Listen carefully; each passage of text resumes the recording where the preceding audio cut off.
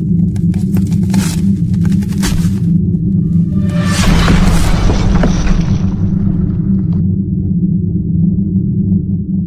guys I am back with a new video. In this video we will introduce all features in mod menu. So let's start the video with the opening LGL mod menu. Always do it on my own, so I gotta get through it. And the only thing I know is to love what I'm Here are all categories for give up, never features. slow till I finally prove it. Never listen to the no's, I just wanna It keep is necessary for you in modding. when I act. Head up, that's a fact. Because if you have knowledge about the feature categories so you can hook the right feature in the mod menu. Always moving on. Feel So let's start opening the switch category.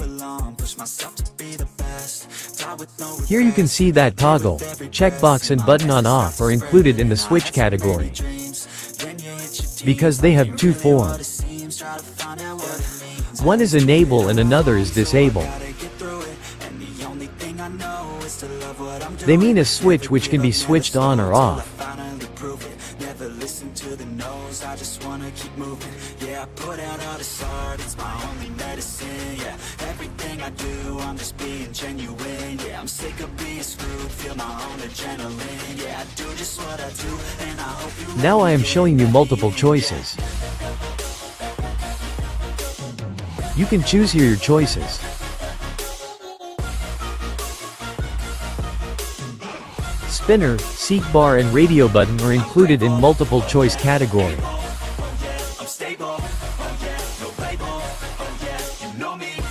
But the radio button is different because it has a default form which is named off button. Now I am showing you the input value category. Here you can input your custom value as you want. Seek bar is also counted because it is also used for inputting value. Seek bar, input value and input text are included in the value inputter category. Now I am showing you the single action category. These features have only one action. Button and button link are included in the single action category.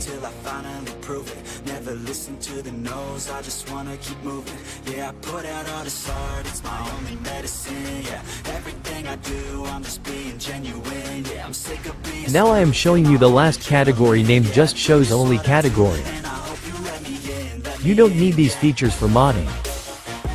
You need this feature to remind the user with text.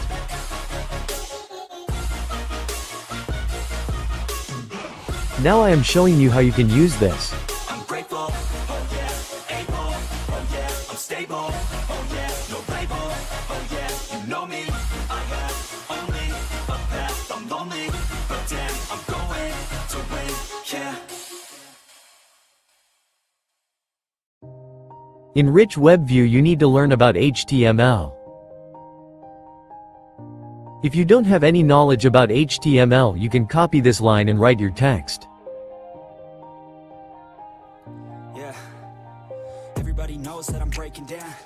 Anyway knows I I'm have made italic my text in rich text view using these Mistakes, but now symbols. I made mistakes, but now I don't ever wanna be alone. I don't really ever feel at home. On my own, in the zone. That's the only way I know. Feeling low, about to blow back up. Here I won't ever let the doubt creep in. Gotta pop a couple more aspirin. I don't think I'll ever let you in. Easier to break it off best friends. I don't really understand. Anyway you can comment on what I should make in the next part. Wanna be left on the shelf. Couldn't even hear me. Thank you for watching.